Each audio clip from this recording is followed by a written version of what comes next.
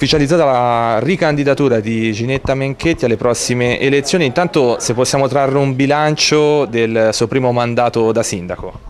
Sono stati sicuramente cinque anni molto complessi, pieni di tanti sacrifici ma di altrettanti soddisfazioni. È stato questo lo stimolo alla richiesta della mia ricandidatura che mi ha fatto decidere per ripropormi al servizio dei miei cittadini per ulteriori cinque anni. Sono esperienze coinvolgenti, travolgenti, ma io credo che vale la pena poter vivere e quindi vorrei concludere con questi prossimi cinque anni tutta quella serie di progetti che ho avviato nella prima legislatura e poterne vedere finalmente i risultati.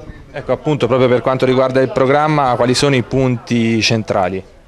Punti centrali sono vari, dobbiamo partire dal lavoro perché è importante appunto l'occupazione, abbiamo troppi giovani che non riescono a trovare lavoro, da uno sviluppo sostenibile del territorio perché i due temi devono andare di pari passo in perfetto equilibrio, siamo per uno sviluppo industriale ma eh, diciamo eh, ecosostenibile, quindi che porti ad una tutela comunque del territorio. E vogliamo puntare soprattutto nella valorizzazione delle nostre bellezze culturali, ambientali e quindi in un particolare tipo di turismo, quel turismo che si dice slow, quel turismo lento, fatto di micro accoglienza, fatto di piccoli bed and breakfast, agriturismi. Noi negli ultimi dieci anni abbiamo più che raddoppiato la presenza di queste strutture e pensiamo che siano un valore importante da poter eh, promuovere e portare appunto eh, a conoscere nel mondo.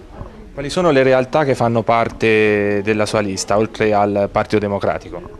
La nostra lista è una lista di centro-sinistra dove oltre il Partito Democratico vi confluiscono il Partito Socialista Italiano e il Movimento Arezzo in Comune.